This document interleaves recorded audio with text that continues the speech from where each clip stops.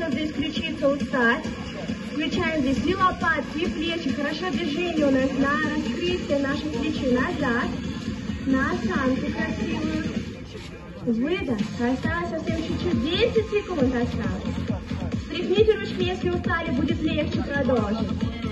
Вдох.